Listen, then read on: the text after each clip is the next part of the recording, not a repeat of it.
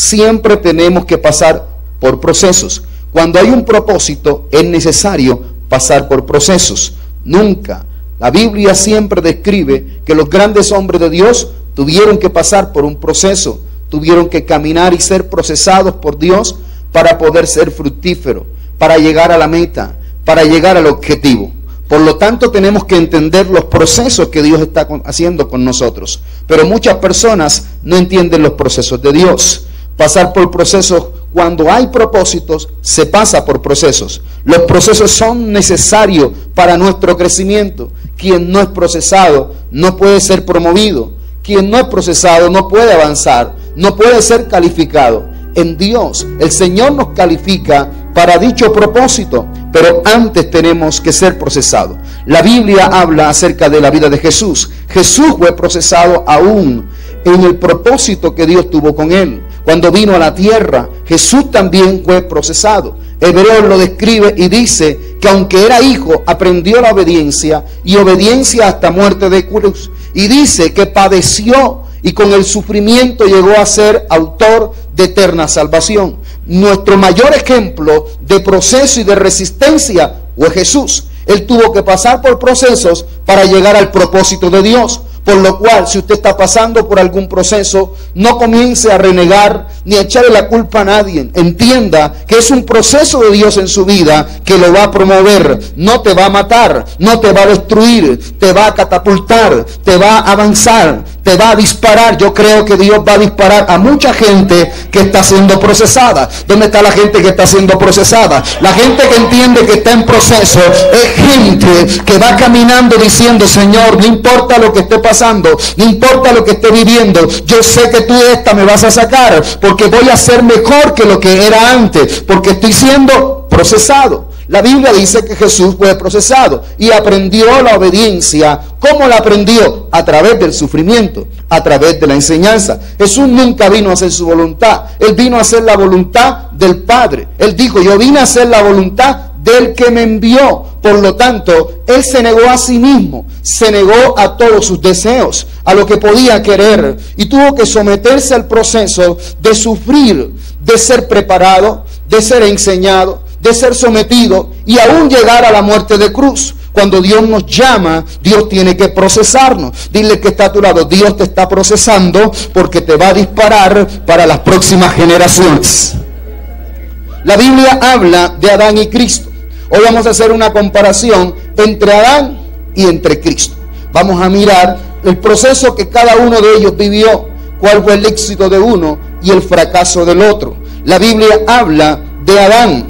Adán tenía un propósito en la vida. Cuando Dios lo puso en el huerto del Edén, lo puso para que lo labrara, para que lo multiplicara y para que lo cuidara. Por lo tanto, Adán tenía que cumplir su asignación. La asignación de Adán era cuidar lo que Dios le había dado, multiplicar lo que Dios le había dado, trabajar en lo que Dios le había dado. Dígale que está a su lado. Dios te llamó a trabajar, Dios te llamó a producir, Dios te llamó a multiplicar, Dios te llamó a ser fructífero, Dios te llamó a avanzar. Pero la Biblia dice que Adán no cumplió su asignación. Adán fracasó podemos mirar y todos los que estamos aquí sabemos que Abraham fracasó, que Abraham perdió todo lo que Dios le había entregado, todo lo perdió. ¿Por qué perdió Abraham todas esas cosas? Nosotros tenemos que evaluar cuando alguien pierde, cuando alguien fracasa, hay que evaluar y replantear qué fue lo que pasó. Dios es un Dios que evalúa y replantea.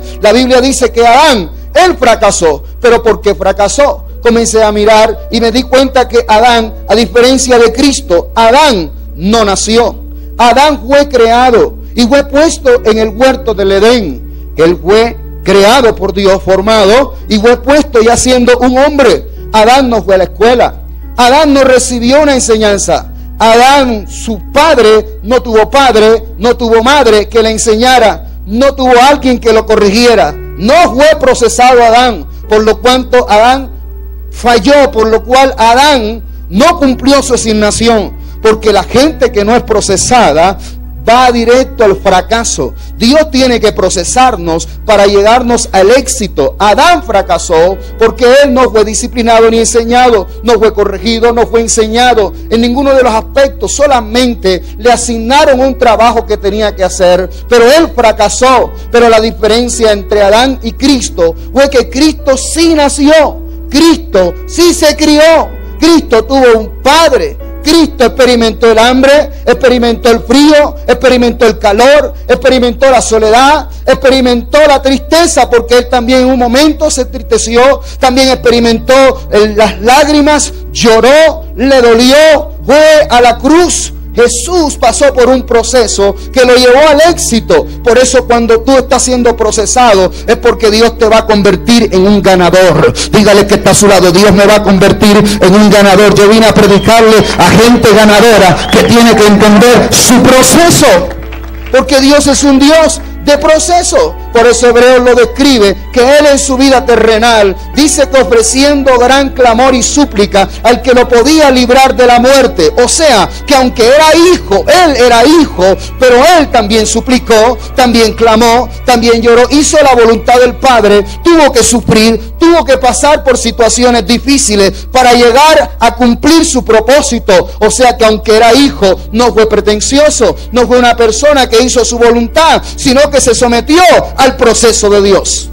Es como cuando Dios llama a José. Dios le da una asignación a José en sueño. José va a ser un gobernador, pero tiene escasamente 17 años cuando Dios lo escoge. Pero Dios no le muestra su proceso, le muestra solamente su fin, dónde va a llegar, quién va a ser, pero no le muestra por dónde tiene que pasar para ser procesado. Dígale que está a su lado. Dios te está procesando, Dios te está sacando lágrimas, pero también te está haciendo fuerte. Vamos, diga, Dios te está sacando lágrimas, pero también te está haciendo fuerte.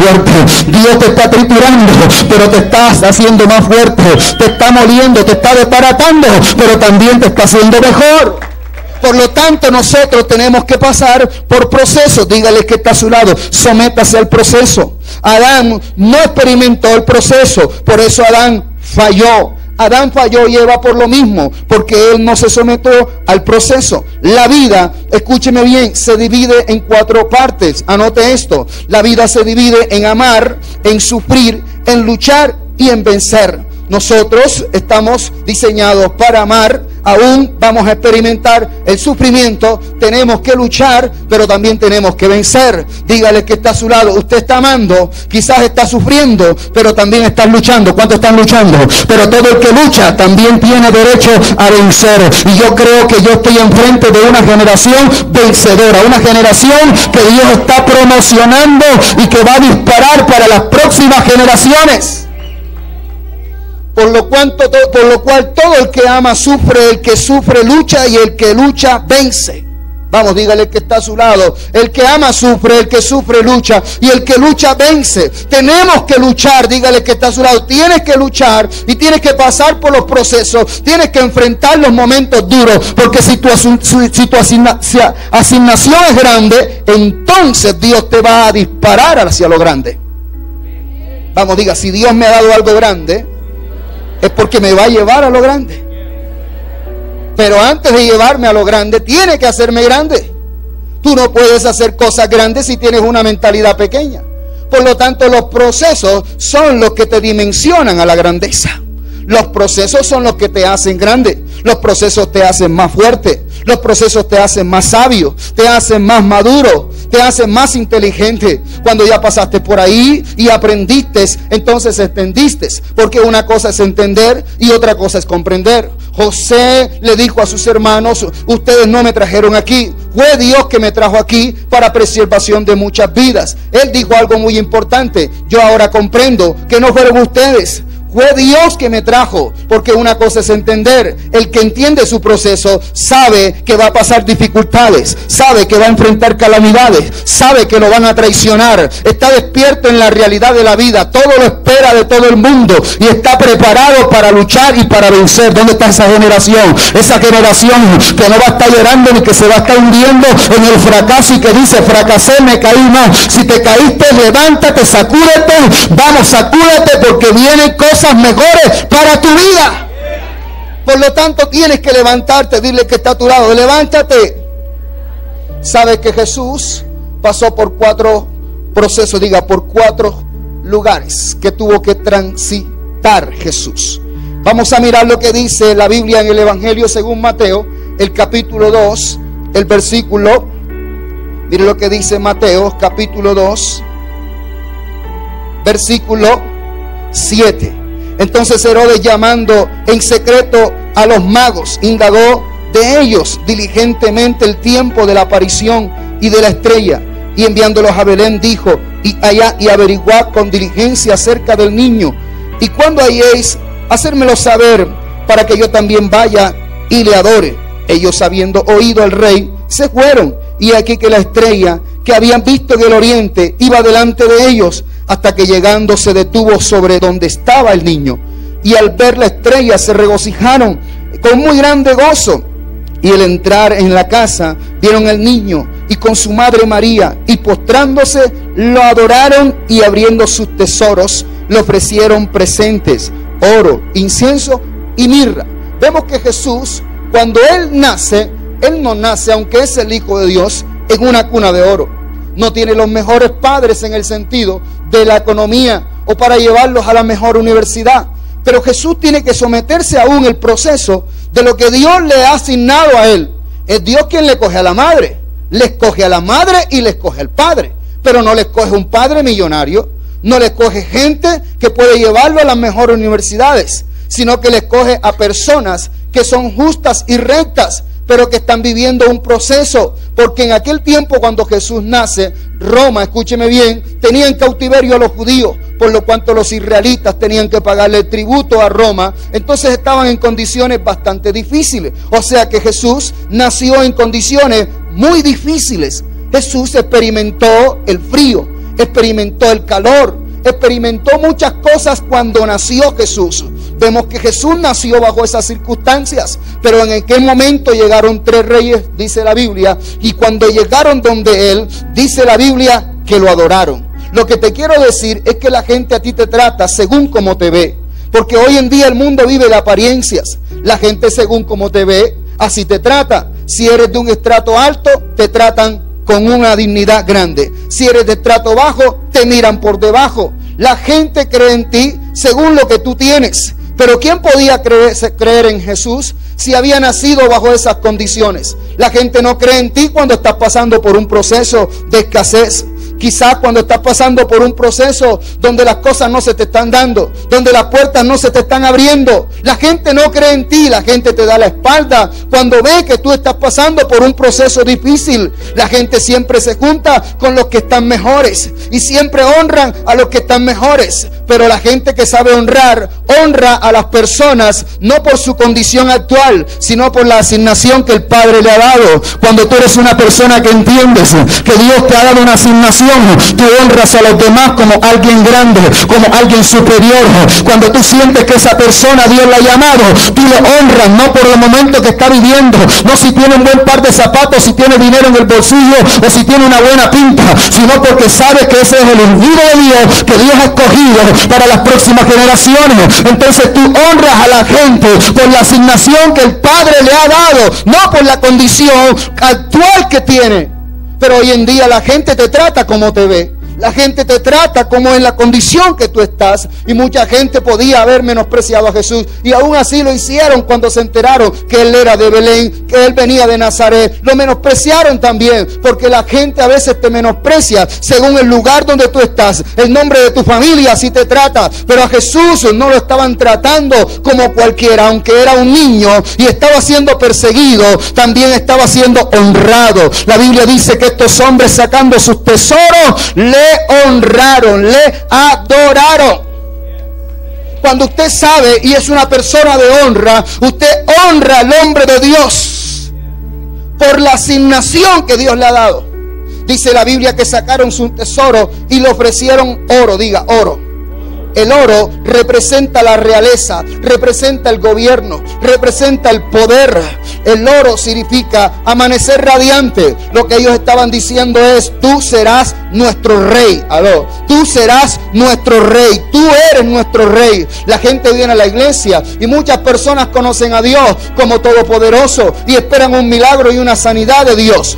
Cuando lo conoces como padre, entonces esperas que Él te corrija o te enseñe o te disciplina. Pero cuando tú lo conoces como rey o cuando tú lo identificas como rey, tú llegas a la presencia de Dios en una manera diferente. Tú llegas a adorarle, tú llegas a bendecirle. Tú no llegas con las manos vacías a la casa de Dios, tú llegas a honrarlo, tú llegas a engrandecerlo. Yo no sé cuántos vinieron a honrar el nombre del Rey de Reyes y Señor de Señores. Tú a Dios le das lo mejor, no importa, mi hermano, en las condiciones que te encuentres estás identificando a un rey. Cuando tú identificas a Dios como rey, lo tratas como rey. Por eso es que ellos lo identificaron como rey no lo identificaron en la condición que estaba. Incluso el mismo Herodes lo identificó como rey porque él sabía que ese era el rey de los judíos, pero lo estaba buscando era para matarlo. Pero quiero decirte que hay gente que te busca para calumniarte, para destruirte, para difamarte, para matarte. Pero de igual forma hay gente que te va a buscar para bendecirte, para honrarte, para engrandecerte. Mientras que otros no creen en ti, hay otros que creen en ti. Hay unos que no creen en tu ministerio, pero hay otros que creerán en tu ministerio. Si no creen en tu ministerio, en esta ciudad, en otra ciudad, van a creer en tu ministerio.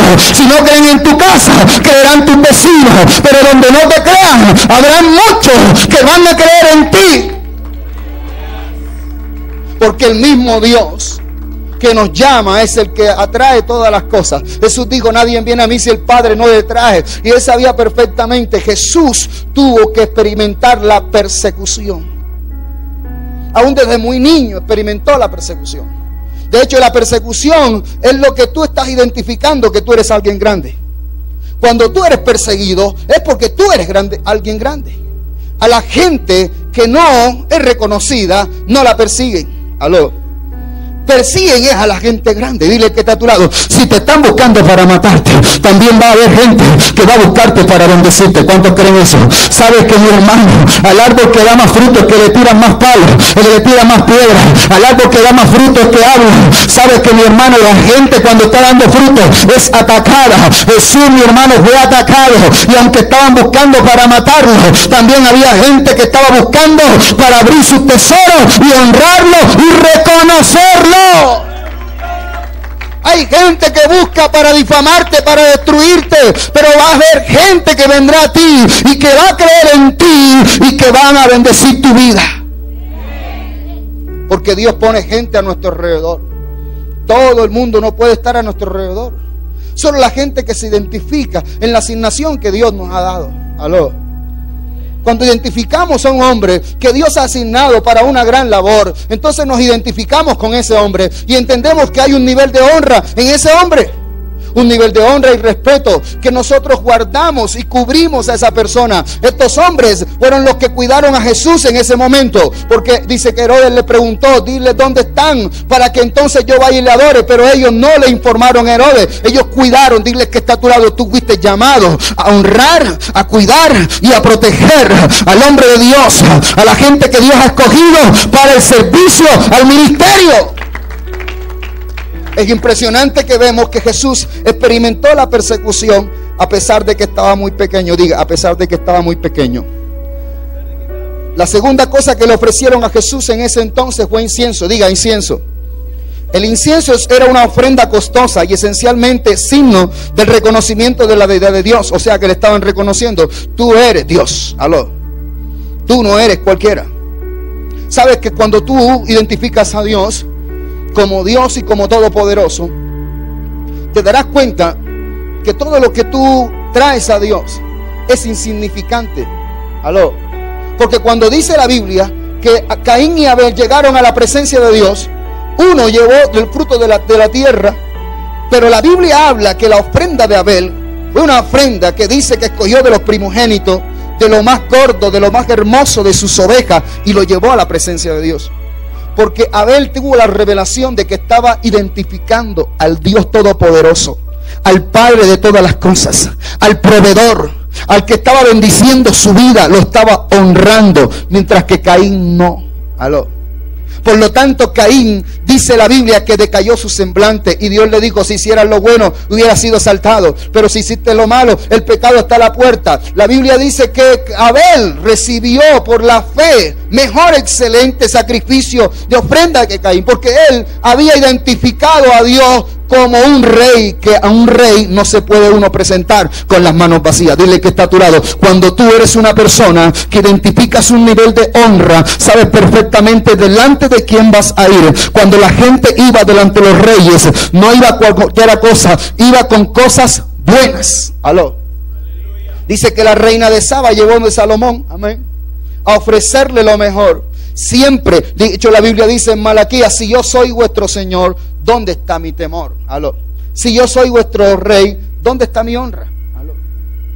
Siempre Dios tenía esa exigencia del pueblo porque había que identificarlo. Por lo tanto, estos hombres estaban identificando a Jesús. En una ocasión dice la Biblia que una mujer llegó con un perfume de nardo puro de mucho precio que costaba alrededor de 300 denarios, o sea, prácticamente casi el salario de un año. Ella llega donde Jesús, dice que lo parte y lo echa en Jesús y comenzó a jugar con dice, sus cabellos y a besarlo y a honrarlo. Y dice la Biblia que entonces eh, uno de ellos dijo, Judas dijo, oye, ¿por qué este desperdicio? Mejor se hubiera vendido y se hubiera dado a los pobres. Jesús le dijo los pobres siempre tenéis entre vosotros, pero esta ha hecho una buena obra que será recordado donde quiera que va para memoria de ella. La gente que sabe honrar es la gente que marca un precedente en la vida. Dígale que está a su lado. Tú fuiste llamado, fuiste llamada a hacer cosas que otros nunca se atrevieron a hacer. Por eso es que la gente que hace cosas que otros no se atreven a hacer son gente perseguida, son gente criticada. Pero la gente que sabe perfectamente que identifica Jesús es la que hace cosas grandes para Jesús. Yo no sé cuántos fueron llamados a hacer cosas grandes. Toca dos o tres y estremece Tú fuiste llamado para marcar un precedente en la vida. Tú fuiste llamado para ser grande. Tú no fuiste llamado para pasar desapercibido. Tú no fuiste llamado para hacer cosas pequeñas. Tú fuiste llamado para hacer cosas grandes. Siempre Dios nos ha mandado a hacer cosas grandes. Por eso a Jesús lo honraron como alguien grande. Aló mientras que lo criticaban los demás, aunque había gente que lo perseguía y hablaba mal de él, habían unos que lo identificaban y lo honraban. Dile que está a tu lado, tienes que entender que va a haber un grupo que te va a atacar, pero también van a haber muchos que te van a bendecir. Vamos, vamos, dile. Hay gente que te va a tener envidia. Hay gente que va a hablar mal de ti. Porque la Biblia dice que toda buena obra con excelencia despierta la envidia de los hombres. Y cuando tú estás despertando envidia porque estás haciendo algo excelente, vamos, díselo. Tú no vas a despertar envidia si no haces nada excelente. Porque la excelencia es lo que hace que las cosas sean nuevas y sean perfectas. Y cuando haces cosas nuevas y perfectas, vas a despertar la envidia en los demás. Por envidia te van a atacar. Por envidia te van a calumniar. Pero al final el resultado resultado es que Dios va a levantar tu cabeza y que Dios te va a bendecir y que va a levantar tu cabeza por encima de tus enemigos. Tenemos que entender que en el Evangelio hay persecución, que en el Evangelio hay gente que nos ataca, que en el Evangelio hay gente que habla mal de ti. Pero dile que está a tu lado, ahí tienes que ser procesado. Ahí tienes que ser procesado, dile que está a tu lado, tienes que ser procesado. Dice que la tercera cosa que le ofrecieron a Jesús fue la mirra, diga la mirra. La mirra está relacionada con su muerte y quiere decir su sacrificio de redención. Ellos estaban diciendo, tú eres nuestro redentor. Ellos al llevarle mirra estaban diciendo, tú vas a morir en la cruz por nosotros. Ellos estaban profetizando, aunque Jesús era un niño y que todavía no había crecido, estaban declarando una palabra profética, tú vas a morir en la cruz por nosotros. Por eso te venimos a honrar. La gente que sabe quién es Jesús está agradecida con él. ¿Cuántos están agradecidos con Dios? Vamos, ¿cuántos están agradecidos con Dios? Jesús pasa por este primer lugar, transita por Belén, diga, transitó por Belén. Pero dice después que llegaron a otro lugar. Otro lugar que transitó Jesús fue Nazaret, diga Nazaret. Vamos, diga Nazaret. Nazaret, escúcheme bien, un lugar que tuvo que transitar Jesús. Yo creo que tú, si tú decidieras vivir en un lugar, escogieras el mejor, ¿o no? Tú escogieras el mejor. Si tú tuvieras tenido la elección de decir quién sería tu papá, eligieras de pronto al presidente. Amén. Eligieras a alguien influyente, a alguien victorioso, exitoso. Amén. Pero Jesús no escogió lugares. A Él escogieron los lugares. Amén. A Él le escogieron los lugares porque la escritura decía que Él tenía que ser nazareno. Y Nazaret era una pequeña población escúcheme bien, que la gente no la valoraba mucho porque era muy montañosa y había poco comercio por allí. Entonces Jesús tuvo que ir y allá y quedarse en Nazaret. Aló. Cuando tú eres una persona que entiende los procesos, te sometes a ellos. Te sometes a la forma como Dios te está procesando. Aló. Dios no te puede llevar a otra dimensión, porque cuando Dios te va a llevar a una dimensión de rescatar almas, de amar personas, tiene que triturarte. Aló. Tiene, ay, yo no sé cuántos creen esto. Tiene que triturarte, tienes que triturarte. Dios te está triturando. Dios te está permitiendo pasar necesidades, situaciones algunas, temporalmente, porque te está preparando. No podemos ver a un Jesús que es la estrella de Hollywood, sino que vemos a un Jesús que tiene que ir a Nazaret y Nazaret tiene cuatro significados. Pero él va a Nazaret porque él tenía que ser nazareno. Pues los nazarenos, ellos no se cortaban el cabello, no tomaban vino ni sidra, eran santos ni se contaminaban. Pero en Nazaret estaban ocultos. En Nazaret estaban, escúcheme bien, en el anonimato. Dígale que está surado. Cuando estás en Nazaret, estás en el anonimato. Cuando estás en Nazaret, nadie te ve. Nadie te escucha, nadie cree en ti. Aló, en Nazaret está siendo procesado. Yo no sé cuántos están pasando por Nazaret. Cuando estás en Nazaret, mi hermano, la gente no se acuerda de ti. Cuando estás en Nazaret, nadie sabe quién eres. Cuando estás en Nazaret, no, no, todavía no has crecido, no has avanzado. Estás siendo procesado. Yo no sé cuántos están pasando por Nazaret aquí. Que yo no sé si hay alguien que está pasando por Nazaret que te levante la mano. Diga, estoy pasando por Nazaret. Él pasó por Nazaret, Mateo 2.23 dice, y vino y habitó en la ciudad llamada Nazaret para que se cumpliese lo dicho, lo que fue dicho por el profeta, que había de ser llamado Nazareno. O sea que Jesús tiene obligatoriamente que transitar por ese lugar. Por eso le digo, usted está transitando por lugares y por situaciones, no por sus propios deseos, sino porque Dios lo ha permitido, porque Dios lo está procesando. Dígale que está a su lado. Usted está en el ojo del huracán, usted está en la mira de Dios. Dios lo está viendo, pero Dios lo está procesando, porque en Nazaret nadie te conoce, en Nazaret nadie te llama, pero en Nazaret está recibiendo tu formación, tu preparación, tu capacitación. En Nazaret te estás haciendo fuerte, en Nazaret eres santo, en Nazaret eres recto, en Nazaret eres sencillo, eres humilde, en Nazaret aprendes humildad, porque si no aprendes humildad, entonces cuando Dios te levante, o los dones que Dios te da, y te levante de la misma forma, vas a caer, pero lo que te va a sostener va a ser Nazaret. Aló. Porque hay gente que ha crecido y ha bajado. Porque no estaban preparados. Porque Dios les dijo, coge la escalera y cogieron el ascensor. Aló. Vamos, diles que está a tu lado. Dios te dijo que escogiera la escalera. Y la escalera pasa, subes un peldaño, después subes otro, subes otro y subes otro y te cansas. Pero otros dijeron, no, mejor vamos por, el, por lo más práctico, por lo más recto. ¿Sabes cuánta gente quiere hacer tantas cosas en esta vida? ¿Cuánta, cuánta gente tiene muchos deseos? ¿Cuánta gente quiere hacer cosas antes de tiempo? Y por eso se rebelan en contra del hombre de Dios. Y vienen y creen que porque tienen un don ya son pastores. Y van y abren un chuzo por ahí y comienzan a hacer de cuanta cosa. Y ellos salieron antes del proceso. Aló, no fueron no fueron transformados y van a fracasar. Van a fracasar porque ellos no recibieron la preparación. Aló. Hay una diferencia entre el llamado y el don. Un ejemplo, el llamado de Samuel era ser juez y el don era profeta. Pero él siempre se sentó a juzgar y utilizó su don. Pero el llamado de Sansón era ser juez, pero nunca se sentó a juzgar a Israel, siempre operó en el don de la fuerza. Aló. Aló. Porque no fue procesado. Dile que está a tu lado. Si no eres procesado, es fácil utilizar, es fácil operar en el don, porque los dones son irrevocables, están allí, amén. Vas a echar guerra demonios, vas a sanar y vas a, vas a, hacer muchas cosas, amén. Pero vas a caer de la misma forma. Dile que está a tu lado. Y si vas a caer de la misma forma, Dios dice, tienes que comenzar por el principio, por favor. Ven y coge la escalera otra vez. Aló. Vamos, vamos, dile que está a tu lado. Si no has cogido la escalera y has escogido el, ascensor, Dios te va a bajar. Porque así como el ascensor sube, pastor, apóstol, así también baja rápido. Diga, el ascensor sube rápido, pero también baja rápido. Amén. Entonces Dios tiene que procesarnos, diga, Dios tiene que procesarnos. ¿A cuánto Dios está procesando aquí? A ver, ¿a cuánto Dios está procesando? Dios te está procesando para las próximas generaciones. Amén. Diga, para las próximas generaciones. Cuando Dios llama a Moisés, Moisés dice que atravesando el desierto, atravesando en el desierto, en el desierto no hay nada. Aló. Fue que pudo recibir una visión de Dios. Aló. ¿Tú no sabes que Dios te lleva a un desierto? Porque en el desierto no hay celular. No hay quien te llame, no hay quien te ocupe. Amén. No hay quien te moleste. Aló. No hay quien te dé la mano. Amén. No hay quien te ayude.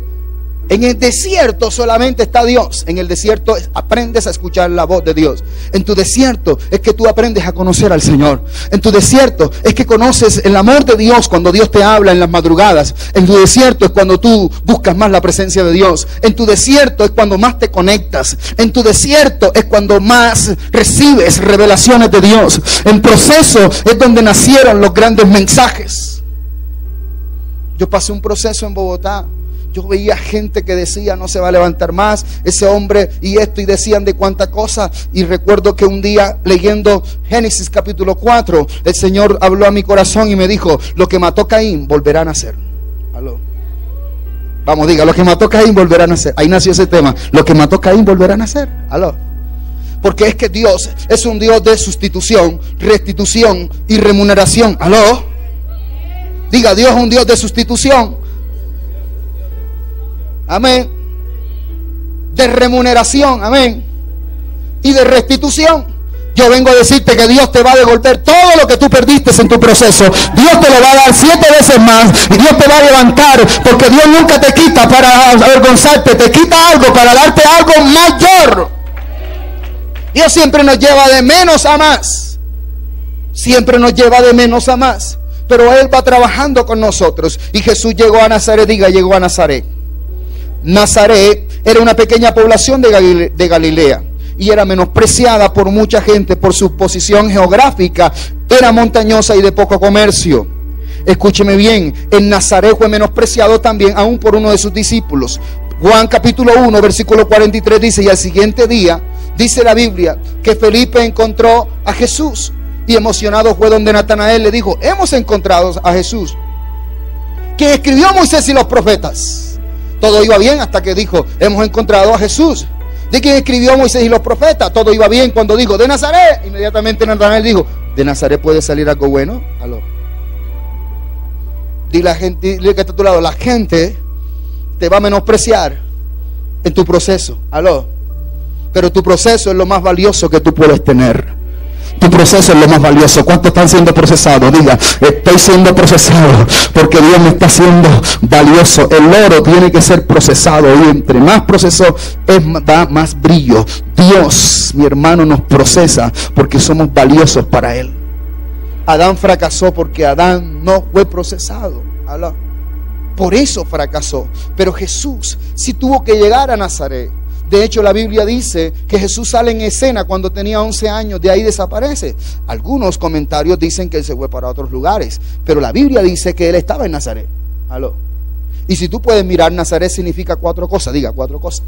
La primera cosa que significa Nazaret es, escúcheme bien, vamos a mirar esto, Nazaret significa reverdecer, diga reverdecer. Diga reverdecer. Dile que está a tu lado. Tu proceso es doloroso, pero en tu proceso vas a reverdecer. Diga, voy a reverdecer. En mi proceso voy a reverdecer. En mi proceso voy a echar nuevas hojas. En mi proceso voy a echar nuevas raíces. En mi proceso Dios me está raizando y me está yendo nuevas hojas. Porque en Nazaret Él estaba reverdeciendo. Jesús no era cualquiera. Amén. Cuando Él aparece en escena, la Biblia dice, rabí, o le dicen maestro, ¿usted cree que reconocían un maestro porque era Jesús? Era porque Jesús había estudiado y se había preparado. Tu proceso requiere de preparación, de capacitación. Yo no sé cuántos están capacitando, pero el proceso cuando tú estás en la universidad, tú tienes que someterte a horas, tienes que someterte a madrugada, tienes que someterte a regaño, tienes que someterte a muchas cosas y tú luchas por alcanzar una meta, por ser un profesional. Cuanto más para servirle al Rey de Reyes y Señor de los Señores sométete al proceso, sirve a Dios, oh, soporta las aflicciones, cumple tu ministerio, haz obra de evangelista, pero somete a lo que Dios te ha dado, porque la Biblia dice, nadie toma para sí esta honra, sino el que es llamado por Dios, como lo fue Aarón. Es una honra servirle al Dios de los cielos. Pero tienes que entender que vas a ser procesado. Y Nazaret significa reverdecer. Vamos, toca el que está a lado. Dile, en Nazaret vas a reverdecer. Vas a echar hojas. Vas a echar renuevos. La Biblia dice que la vara de Aarón, oh, reverdeció, echó hojas, echó renuevo, echó planta, echó de todo. Dile en Nazaret, me estoy poniendo hermoso. ¿Cuántos están poniendo hermoso en Nazaret? El segundo significado de Nazaret es vástago, diga vástago. El vástago es una rama que, que nace en la flora de un tronco, en pocas palabras, en un tallo, y tiene la capacidad por sí misma de crecer y de desarrollarse. Aló. O sea que en Nazaret tú te desarrollas, tú creces, tú avanzas. Sabes que mi proceso, en aquel tiempo, fue muy duro. Había mucha escasez. Yo recuerdo que una vez me tocó estudiar estaba estudiando las asignaturas y habían pastores, líderes, profetas y yo fui a estudiar donde ellos estaban. Y yo decía, pero wow, yo apenas soy un miembro de la iglesia y esta gente ya sabe, esta gente, mejor dicho, esta gente inteligente. Pero sabes que yo me sometí a la disciplina de aprender de acostarme a las 3 de la mañana, de levantarme, de hacer dos asignaturas a la vez, de esforzarme porque quería dar lo mejor de mí. Y aún así creía que no iba a ganar porque toda esa gente que estaba ahí era experta. Y el día cuando ya íbamos a calificar todos, yo me llevé la sorpresa de que pastores, de gente que estaba allí, algunos no pasaron la asignatura, algunos la pasaron arrastrado, como dice uno, a tres. Yo la saqué a 4.50. Yo me di cuenta que todo en la vida requiere de disciplina, de proceso. Dile que está a tu lado, esfuérzate. Deja que Dios te procese. Dios te está levantando para una nueva generación. ¿Cuántos creen eso? Diga, Dios me está levantando para una nueva generación. ¿Cuántos creen eso? Si le vas a aplaudir, apláudele.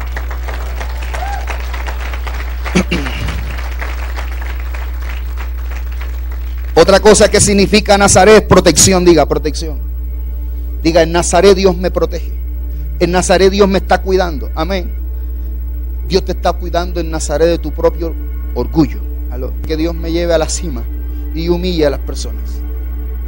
Aló. ¿De qué sirve? Dios tiene que tratar con nuestro orgullo. Dios trató con mi orgullo. Yo era un hombre que en el mundo ganaba dinero y cuando llega el Señor las cosas se apretaron. Amén. Sí, se apretaron.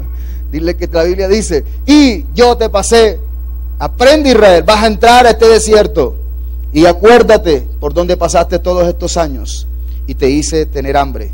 Aló. Y te hice tener hambre, dice el Señor, para enseñarte que no solo de pan vive el hombre, sino de toda palabra que sale de la boca de Dios. ¿Sabe qué quiere decir esa escritura? Que cuando ellos pasaron por el hambre y la escasez, ellos dependían de una palabra. Amén. Que salía de la boca de Dios. Y en ese proceso Dios nos guarda de nosotros mismos. Dios le dice a Jeremías, ves a casa del alfarero porque allí te voy a hacer oír mis palabras. Y fui a casa del alfarero y vi que estaba haciendo una vasija. Y dice que la vasija se rompió, pero luego la tomó otra vez y hizo una según le pareció mejor. Eso es lo que hace Dios con nosotros. Dios te desbarata y te hace de nuevo. Dile que está a tu lado. Dios te está desbaratando. Vamos, dile. Dios te está desbaratando. Te está sacando. Dile, tú eres un barro que estaba sucio. Vamos, dile, tú eres un barro que estaba sucio. Y ese barro sucio, el Señor le sacó las piedras, sacó el vidrio, le sacó el fango, le sacó todo aquello sucio. Te está triturando. En el proceso tú serás mejor persona. En el proceso eres más sencillo. En el proceso aprendes a amar. En el proceso sufres, pero valoras cuando tú sufres. Tú valoras. Los hijos, ¿sabe por qué no valoran el sacrificio de sus padres? Porque no han visto el sacrificio que ellos han hecho por ellos. Aló. Dele todo a un hijo para que vea usted. Dele todo sin sacrificio. Dele todo que, no se lo gane por mérito para que vea usted que usted está enseñando a una generación que va a perder. Aló. Pero no voy a meterme por ahí porque ese es el tema de mañana. voy, a, voy hablar de una generación ganadora. Amén. De gente que Dios está capacitando. Si usted quiere tener buenos hijos, por favor, llévelos un día a ver cómo que usted se gana el dinero. Amén. póngales obligaciones y cosas. Dios es un Dios que nos enseña. Él nos enseña. Tenemos deseos, pero no vivimos de deseos, mi hermanos. Tenemos muchos deseos, pero los deseos no son suficientes si no van acompañados de disciplina, si no van acompañados de sacrificio, de sufrimiento. Todo lo que nosotros queremos en la vida, nos toca luchar por ello, nos toca sufrir por ello, nos toca avanzar, vencer obstáculos. Yo creo que Dios está levantando una generación en este lugar. Por eso a veces tú tienes que entender los procesos del Señor. Amén. Y el cuarto, el cuarto significado de Nazaret es cobertura, diga cobertura. Diga, en Nazaret hay cobertura. Dios en Nazaret te está cubriendo. Amén. En Nazaret te está protegiendo. Me hace recordar cuando Jacob dice la Biblia que sus hijos mataron a un rey. Perdón, dice que mataron al rey y a toda aquella generación de aquel rey. Y dice que Jacob dijo, me van a exterminar, ahora que escuchen todos los pueblos aledaños, me van a desaparecer porque nos van a tener como hombres malos. Y dice que Dios le dijo, ves a Betel y yo ahí te voy a cuidar. Aló. Porque Dios también te cubre, dile, Dios te está cubriendo. Dios te está protegiendo. Pero Dios te está protegiendo con un, por un propósito. El proceso es doloroso, diga, el proceso es doloroso. En el proceso hay lágrimas. Diga, en el proceso hay lágrimas. En el proceso hay llanto. En el proceso hay dolor. En el proceso aprendemos a ser mejores personas. Amén. El segundo lugar que transitó Jesús para avanzar, por favor el tercer lugar, perdón, para avanzar es Capernaum. Diga Capernaum. Vamos, diga Capernaum. Yo quisiera que anotara este texto y nunca se lo olvidara en la vida. Mateo capítulo 4, versículo 12. Capernaum, diga, Capernaum vuelta a ser lugar que transitó Jesús. Pero vamos a leer todo este texto que me agrada, que me gusta, que me lo dio el Señor un día. Cuando yo estaba en esos procesos, el Señor me habló allí, me dijo, el Señor comenzó a hacerme entender y me dijo, lee, y comencé a leer este texto. Mire lo que dice Mateo 4:12. Cuando Jesús oyó que Juan estaba preso, volvió de Galilea y dejando Nazaret, vino y habitó en Capernaum, ciudad marítima. Dile que está a tu lado. El proceso no es para toda la vida. El proceso se va a acabar un día. Vamos, dile que está a tu lado. Tu proceso se va a acabar un día. Algunos están a punto de terminar su proceso. Y la Biblia dice, dejando Nazaret, dejando Nazaret, dejando Nazaret. Vamos, dile que está a tu lado. Dejando Nazaret, dejando ese lugar, dejando ese momento, dejando esa posición de escasez, dejando esa posición de soledad, donde nadie te ve, donde nadie te valora, donde no eres nadie, no reconocido. Un día vas a dejar esa condición y Dios te va a disparar a Capernaú, que significa ciudad de consuelo, ciudad de triunfo, ciudad de éxito. Oh, yo no sé cuánto están pasando por Nazaret, pero dile que está a tu lado. Nazaret solamente es un lugar de transición. Nazaret es un lugar donde estás transitando. Dígale que está a su lado. Estoy transitando aquí. Ahora mismo estoy aquí, pero nunca voy, no siempre voy a estar en esta misma condición. Vamos, dile a los que te ataquen, dile. Ahora estoy pasando por un proceso, pero no siempre voy a estar en este proceso, porque Dios me va a disparar, Dios me va a levantar, Dios va a levantar mi cabeza. David fue procesado, fue perseguido.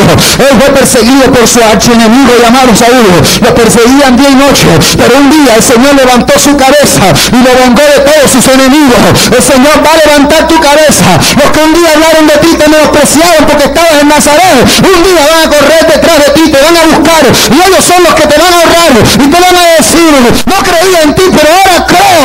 Y van a ver la gloria de Dios. Porque en Capernaum vas a disparar la gloria de Dios. En Capernaum, ay santo. Dice que Jesús dejó Nazaret, diga, dejó Nazaret. Aproximadamente a casi a los 30 años dejando Nazaret, ese güey se estableció en Capernaum, ciudad marítima comercial. Aló. Mira, mira el nivel que pasa. Pasa de un nivel de, de pobreza, de escasez, a un nivel de gloria. Aló. Él va a establecerse a Capernaú porque Capernaú es como un epicentro donde se puede establecer y se puede desarrollar su ministerio. Dígale que está a su lado. Dios me va a llevar a una dimensión donde me puedo desarrollar mi ministerio. Amén.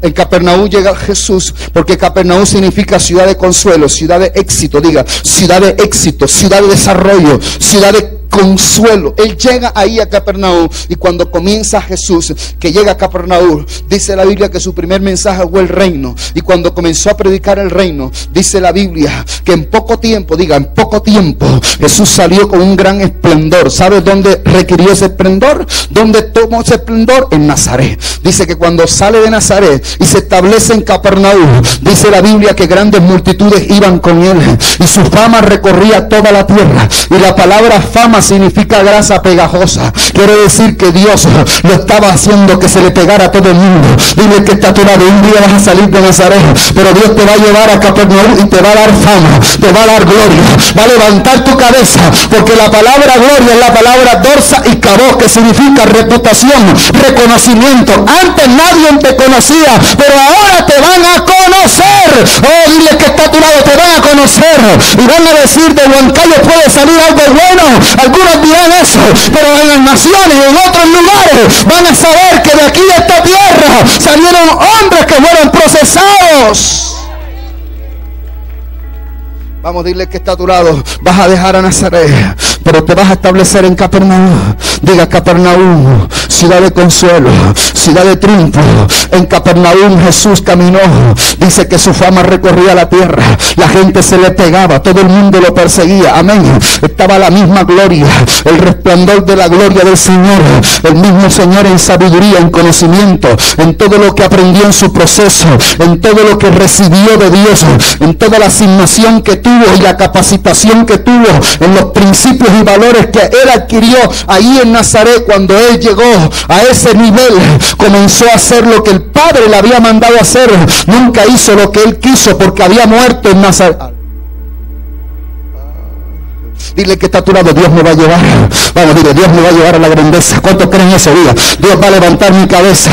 Por eso es que David dice, oh Jehová, cuántos se han multiplicado mis adversarios, todos son los que dicen de mí. En él no hay salvación, mas tú eres escudo alrededor de mí. Eres mi gloria y el que levanta mi cabeza. Vamos, estremece el que está a tu lado y dile, Dios va a levantar tu cabeza. Viene un tiempo donde Dios va a levantar tu casa, va a levantar tu ministerio, va a levantar tu dignidad. Alguno la tiró por el suelo o que alguien habló mal de ti. Dios va a levantar tu cabeza. Estás sometido al, promesa, al propósito de Dios. Y entonces Dios va a levantar tu cabeza. Porque ese es el Dios que tenemos. Amén. El Dios que cuando las personas se someten, por eso es que la Biblia dice, y le dio un nombre que fue sobre todo nombre. ¿Por qué cree que Dios le dio ese nombre? Aló. Si ya él, él había tenido su gloria. Amén. Porque aprendió a través del sufrimiento la obediencia. Diga, la obediencia se aprende. Diga, la obediencia se aprende. En el sufrimiento. Y la obediencia será el éxito de tu ministerio.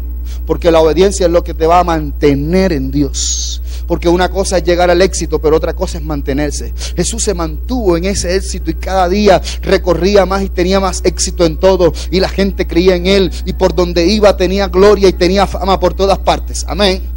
Nunca se llenó de orgullo ni de arrogancia. A pesar de que él, escúcheme bien, era el Hijo de Dios. Él se mantuvo. Dile que está a tu lado. Dios te está triturando. Dios está sacando de ti el orgullo, la arrogancia, la presunción. Vamos, dile que está a tu lado. Tienes que morir. Vamos, tienes que morir.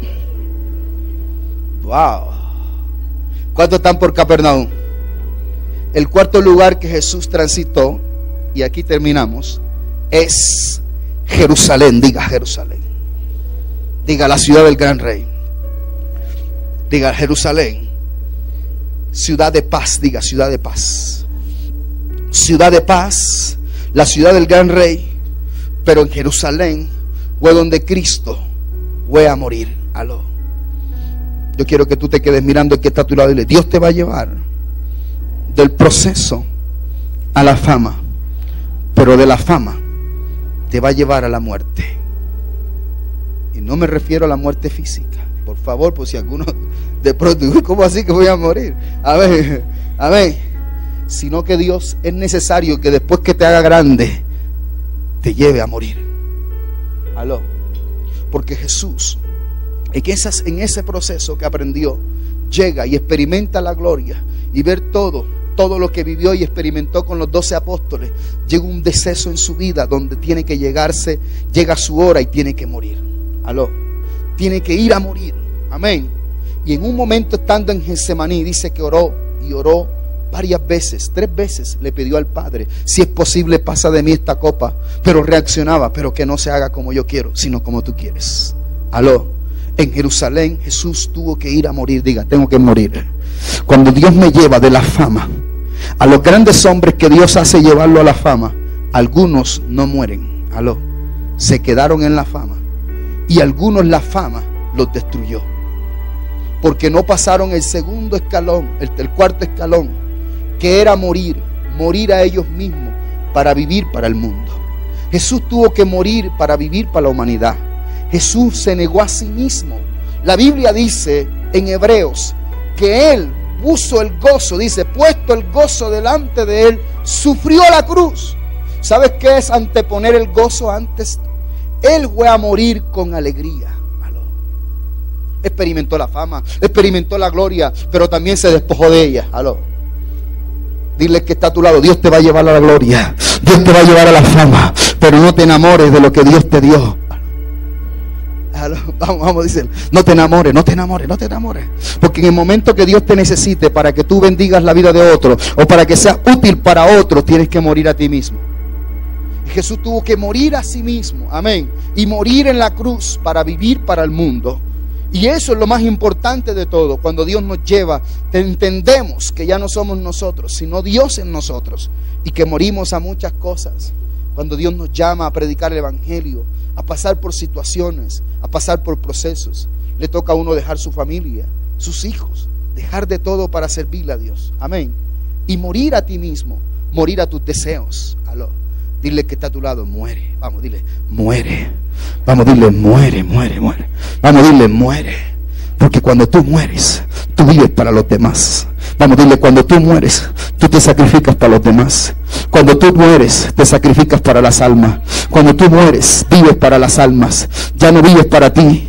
Por eso Pablo dijo, ya no vivo yo, ahora vivo Cristo en mí. Y lo que vivo ahora en la carne, lo vivo en la fe del Hijo de Dios. Wow. Yo vivo, ay santo, ya no sé, no sé. No, dale un fuerte aplauso al Rey de Reyes. Dile que está a tu lado. Hay algunos que son difíciles de morir, amén. Pero dile, aunque sea difícil de morir, Dios te va a llevar a morir. Porque si el grano de, de mostaza no cae a tierra y muere, no puede llevar mucho fruto. Tienes que pasar el proceso.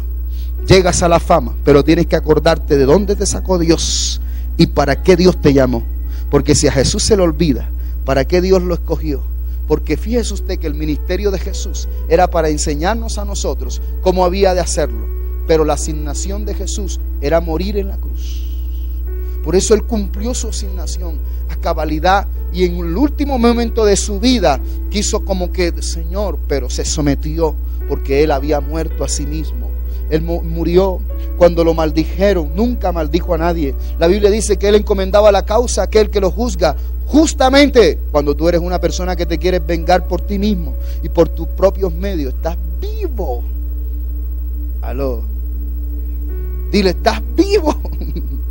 estás viva. Amén cuando quieres maldecir a los demás, cuando Jesús dice la Biblia en Isaías 53, que Él habla del siervo sufriente, que Él nunca maldijo a nadie, ni devolvió mal por mal, ni maldición por maldición. Al contrario, encomendaba la causa a aquel que todo lo juzga. Justamente nunca cometió pecado. Y el día que estaba en la cruz, lo le dijeron, le dieron vinagre y nunca maldijo a nadie. Él no maldijo a nadie, no trató mal a las personas. Él dijo, Señor Padre, perdónalos, porque ellos no saben lo que hacen. Aló. Cuando Dios te lleva por proceso, vas a ser un excelente líder. Vas a ser un hombre de Dios. Yo quiero que te pongas de pie, por favor. Colóquese de ese pie. Colóquese sobre sus pies. Yo quiero que hagamos algo en esta noche especial. Lo primero que vamos a hacer, vamos a hacer una oración donde usted va a reflexionar en este tema. Y usted va a decir, Señor, perdóname que yo no me he sometido a tu proceso. En muchas ocasiones he renegado de ti. Vamos, levante sus manos. Padre que estás en los cielos, Señor. Hoy te doy gracias por tu palabra, Dios. Hoy te doy gracias, Señor, porque tu palabra es viva y eficaz y más cortante que toda espalda de doble filo. Señor, hoy he entendido, Dios, lo que no entendía, Señor. Yo he renegado, Señor, contra el proceso. He hablado, Señor, mis palabras han sido duras para ti, Dios mío. Pero hoy, Señor, me someto. Hoy entiendo que tú, Señor, vamos, levante sus manos. Hoy vamos, hable, hable con Dios. Comienza a orar a Dios. Sometas a Dios. Yo veo en mi espíritu que hay un pueblo aquí que Dios ha venido procesando. Hablen otra lengua. Rima kindiribikoya basere quitarabakaya basara. Deje que el Espíritu Santo reme quitaraba mansa ministre su vida. Basora bakenda. Lemekenda ribashira bakanda rabakanda. Esta es una noche especial. Es un momento especial de Dios contigo. De la presencia de Dios en tu vida, ministrando tu corazón. Ahora mismo rindiéndote. Oh, dile, yo me rindo ante ti, Señor. Me someto al proceso. Dile, Señor, me voy a someter al proceso. Ribike Shokia Basiri Bikenda le basiba. Aishi Bakia Man Saramakanda. Le Mekende Rebekia Man Sarama. Vas a ser grande ante los ojos de Dios. Grande. Sueñas, tú sueñas con ser grande. Y sueña, y te ha tocado luchar y enfrentar a personas que no han creído en ti. Ribikendi Ribikandi Simikama. Aún a tu propia familia. Remekende Kia Man Sakia y aunque no has encontrado a veces el apoyo, Shibaribakandaramacaya, que has querido, vamos, levante sus manos, Shamakanda. Aquí está la presencia de Dios. Aunque a veces no has encontrado ese apoyo, yo soy, dice el Señor. Oh, sí, Señor, aquí está tu presencia. Él está aquí, Él está aquí en este lugar. Deje que lo ministre. Es usted con Dios. Es usted con Dios, es usted con Dios. Ríndete ante Él. Ríndete porque cuando tú te rindes ante la presencia de Dios, Dios te hace grande. Dios te hace grande. Dios te hace grande. Arriba aquí a basara bacanda la macaya. Vas a utilizar, dice el Señor, lo que yo te he dado. La inteligencia, la sabiduría.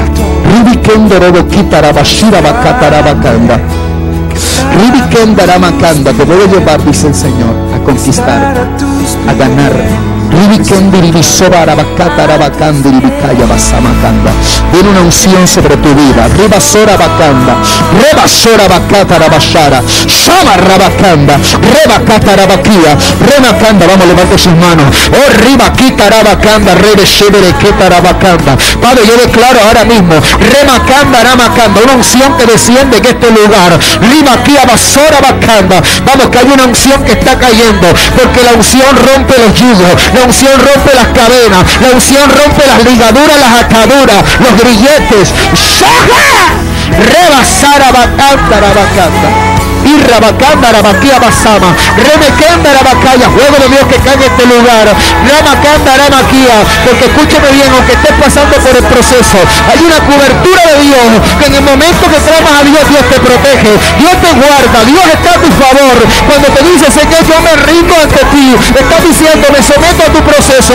Y entonces vas a encontrar la presencia de Dios, la cobertura de Dios, el poder de Dios en tu vida que se manifiesta de una forma gloriosa que ve un ejército, ve un ejército de hombres y de mujeres que Dios está preparando en este tiempo para las próximas generaciones. Gente ganadora, Shamaramacanda Rabacaya, Rebequita Rabacanda. Ahora mismo en el nombre de Jesús, yo declaro Dios que se activa en ella los dones, los dones. Abre sus ojos ahora. Dios abre tus ojos para que veas. Ramacanda Rabasara Bacanda la Macaya. Vamos, levante las manos. Oh, Riba Cantarama, Kia Mansa, Kaya Basaraba. Gente que tiene dones proféticos. Vamos, levante la mano. Porque en esta noche se van a activar el don profético sueños y revelaciones de Dios van a subir a tu corazón. Porque aunque José, escúcheme bien, estaba en la casa de Potifar, recibió revelación. Y aunque estaba en el proceso de la cárcel, recibió revelación y sabiduría y entendimiento. Porque Dios está preparando un ejército de hombres guerreros, de hombres valientes. Padre, yo declaro que la unción cae en esta hora. La unción cae en esta hora. La unción cae en esta hora. Yo declaro una unción sobre este hombre. Shamarama Rebe que Recibe más de Dios. Shamarabacanda. Remekende Rebequía, Ramakanda, Samahaya aquí a Basara Bacanda. Fuego de Dios cae ahora en este lugar. Fuego de Dios. Serebequía Basara, Remekende Rebequía Basora Bacanda. Fuego de Dios. Ya no llores más, dice el Señor. para Baramacanda. Yo soy tu Padre. Yo soy tu Dios. Sarabacanda, Hay una visitación de Dios. Hay una visitación de Dios. Hay una visitación de Dios. Algo está sucediendo. Oh, Algo está sucediendo. Hay una unción, hay una unción. Vamos, levante su mano. Hay una unción. Hay una unción mayor. Hay una unción mayor que está cayendo. Hay una unción mayor. Hay una unción mayor que está cayendo. Está cayendo sobre tu vida una unción mayor una unción mayor, una unción mayor que te va a equipar, que te va a equipar para estar fortalecido en el proceso, para que te levantes en medio del proceso y creas que Dios está de tu lado.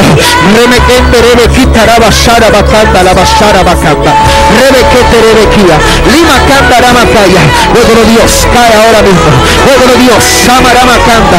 Riba Samahaya. Luego Dios, luego Dios, luego Dios. Veo que Dios va a levantar juventud aquí. Veo Oh, llama a los jóvenes, levanten sus manos. Los jóvenes, Rama Sama hay aquí a Basara. Dios va a levantar una generación de jóvenes profetas. Reme Kender, aquí a Basara, Bacaya. Riba Cata, Basira, Bacanda, Rebe Calla, Basora, Bacanda. Vamos, recibe de la unción de Dios que está cayendo en esta hora. La juventud aquí está siendo equipada por el poder de Dios. Porque esta iglesia se va a disparar en jóvenes. Rebequita, Rebasara, Bacanda.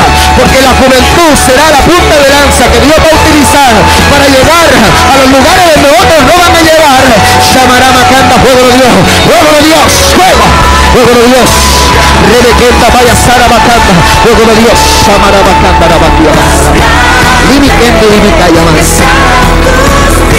Eres especial, dice el Señor, para mí. Yo te visto, dice el Señor.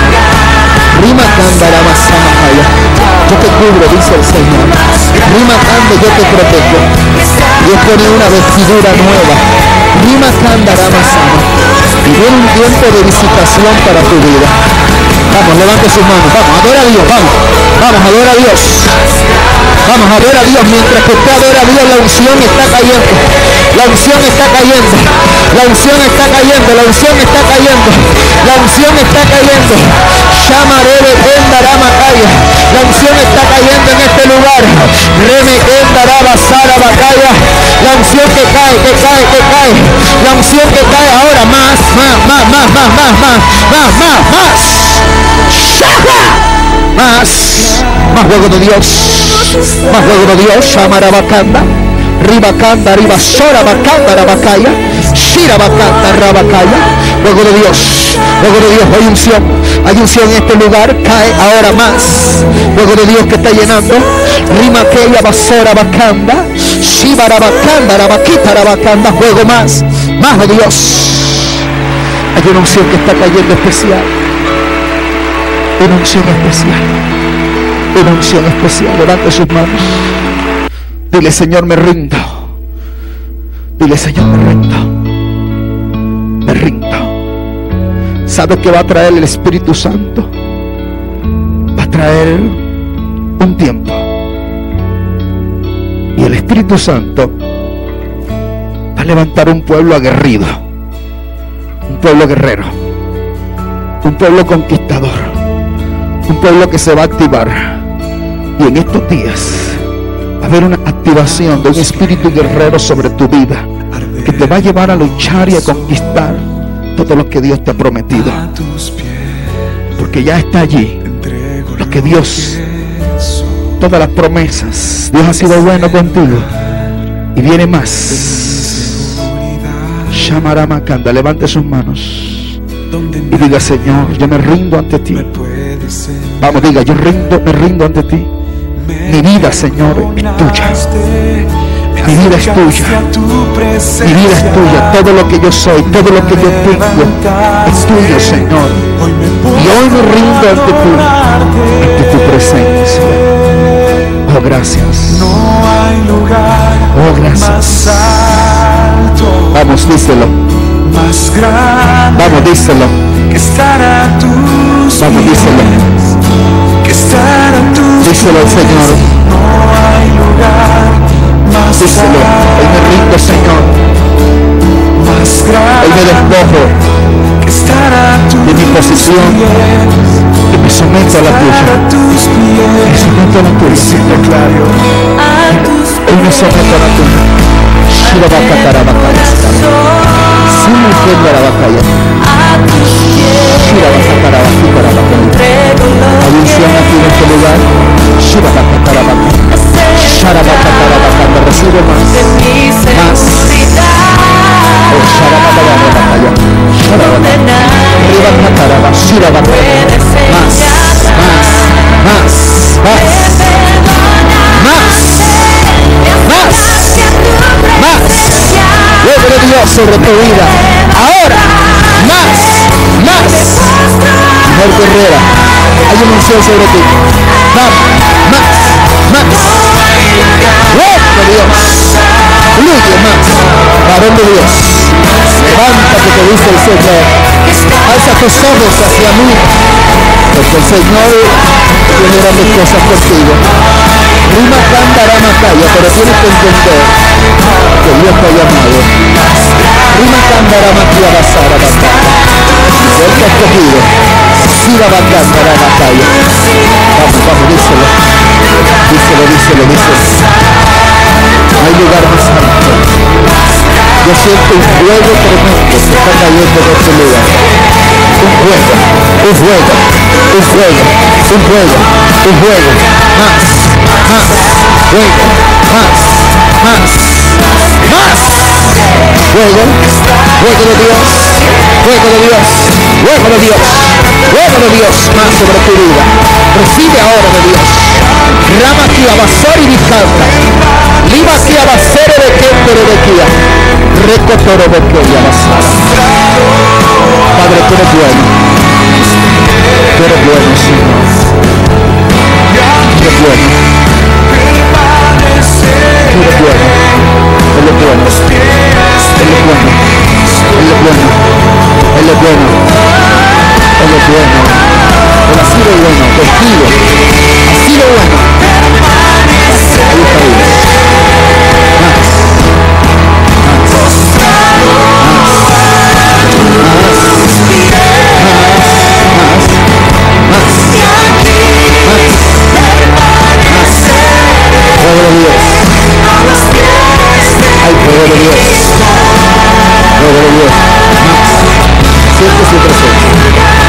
Soy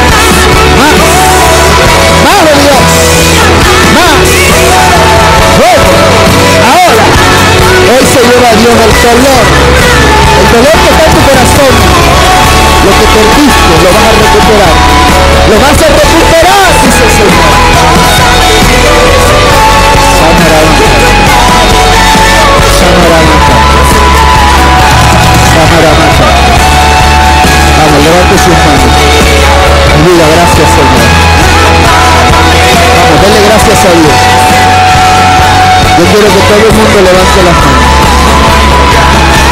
Aprenda a rendirse ante el Señor. Ríndete ante Él.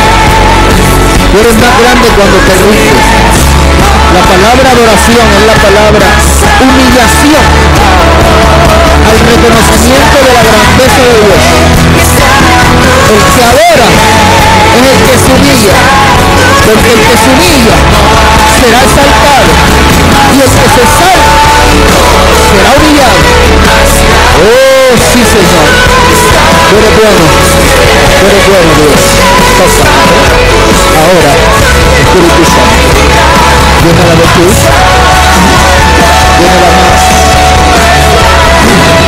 Llénala más. Vamos, levante sus manos. Yo quiero que hagamos algo. La Biblia dice que cuando se abrieron los rollos, los 24 ancianos se pararon, se quitaron las coronas y la pusieron a sus pies, reconociendo aquella mujer que llegó donde Jesús y tomó una libra de nardo puro de mucho precio. A ella le importaba más Jesús que lo que representaba para ella el gasto, el costo. Yo quiero que hagamos algo. Yo quiero que usted hoy saque una ofrenda para el rey. Pero no va a ser cualquier ofrenda. Amén. Vamos, saque una ofrenda significativa que usted quiera adorarlo. Dile, Señor, te voy a honrar. Porque en esta noche, como predicador, te presenté a Jesús el Rey. Mañana al Padre. Amén. Jesús el Rey se adora. Así que yo quiero que saque una ofrenda. Vamos, yo quisiera que to- todo el mundo lo hiciera. No se quede sin hacerlo. Saque su mejor ofrenda. Y usted con una actitud de adoración va a venir a decir, Señor, hoy voy a ser como hizo aquella mujer. Que aunque Judas dijo, ¿para qué este desperdicio? No era ningún desperdicio. Usted lo está haciendo para honrar a Dios. Amén. Porque dice que levantando los ojos vio a los ricos que echaban sus ofrendas en el arca de los reyes. Jesús estaba viendo. No porque él estuviera atento al dinero, sino porque el dar es una actitud de adoración y de honra a Dios. Amén. Pase rápidamente y venga y traiga su ofrenda. Traiga su ofrenda. Eso. Denle al Señor. Señor te bendiga. Traiga su ofrenda. Denle a Dios lo mejor. Señor, desde ahora vas a caminar en un nivel de honra. Cuando vengas a la casa de Dios te voy a dar lo mejor. Mi vida, todo lo que tengo está dispuesto, Señor, para ti. Porque cuando tú honras a Dios, Dios te honra a ti. La Biblia dice que Él honra a los que le honran, pero menosprecia a los que le tienen un poco. Acostúmbrese, iglesia, a caminar en una dimensión de honra. Porque cuando tú honras al Señor, como dice Proverbio, honra Jehová con tus bienes y con las primicias de todos tus frutos. Serán llenos tus graneros con abundancia y tus lagares rebosarán de monstruo. Vamos, ahora levante las manos por acá.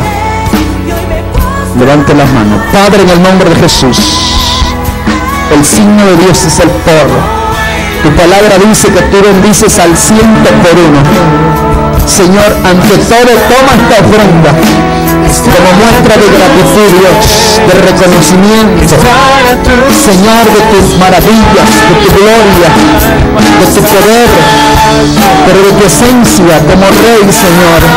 Y multiplica, y bendice a tu pueblo al ciento por uno. En el nombre de Jesús. Amén.